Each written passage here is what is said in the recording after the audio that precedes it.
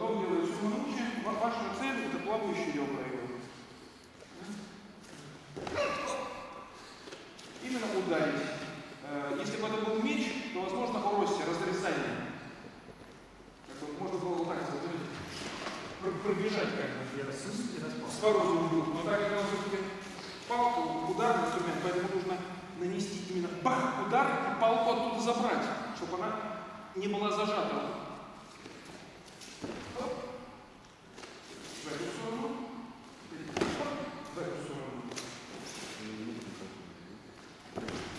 Не проспать самый э, открытый момент. Вот когда он открывается, оп, вот на самом его вершине ваш удар должен быть.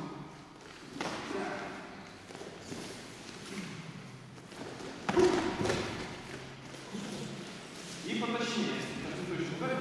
О. Здесь плавающий рук. Здесь плавающий рук. Давайте.